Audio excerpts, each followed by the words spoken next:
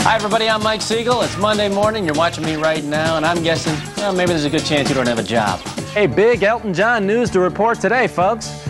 Not as big as the time he married the woman, but still, it's very big news. You know, sometimes one dose of RuPaul isn't enough. So VH1 has given you a chance to OD on our resident drag queen, and shouldn't every workplace have a resident drag queen? Sure. Hey, there's something you people should know about me, all right? I was voted best air guitarist in my high school class. Oh yeah, check it out. Oh, the compliments I got on my fingering. We're backstage right now with the man himself, John Mellencamp. Thanks for being with us. What does a rock star do in his downtime? Do you take a vacation, or what do you do? Just go back back in the studio?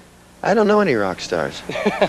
He was really kicked butt. I don't know if you're allowed to say that on You can air. say kick butt. Point is, I can see Jewel up close because VH1 gave me a backstage pass to the Lilith Fair. My plan's coming together. How about yours? 10,000 Maniacs. They're in the news. They got a new album out without lead singer Natalie Merchant, which is kind of like saying, hey, everybody, did you hear that new album by the Pips? He's the Garden State's favorite cowboy. On a steel horse, he rides.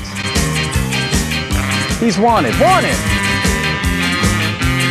Dead or alive. Hi, Mike Siegel, VH1. We have some great memorabilia for you. Maybe you want to display it on the walls. What do you think? Hey, look at this.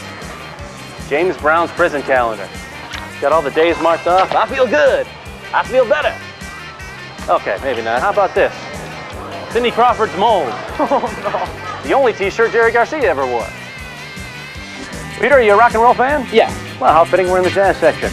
Talk about the perfect tunes for a smoky van ride. Mike is here to help. Hey, my gum!